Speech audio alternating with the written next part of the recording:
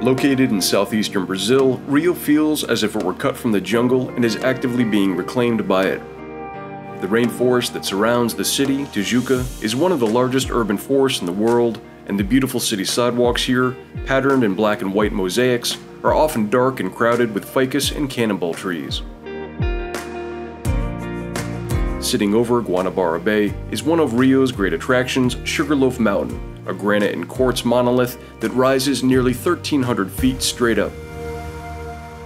Christ the Redeemer is Rio's other primary mountaintop destination and is an iconic feature of Rio's skyline.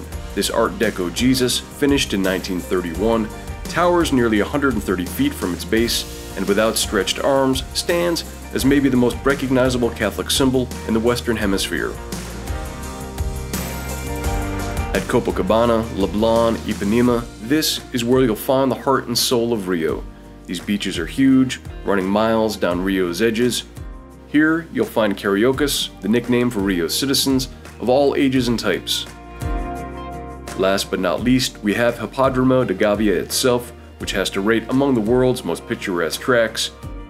It sits under Corcovado Mountain, and so at any point, day or night, an illuminated Christ the Redeemer looms over the head of the stretch, Built in 1926, the track was reportedly designed by a French architect and modeled after the old Longchamp in Paris, with four stately grandstands that can seat up to 3,000.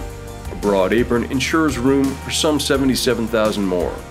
The racing is good, and as shown by the likes of Bal A Bali and Gloria de Campeao, capable of turning out a world-class horse.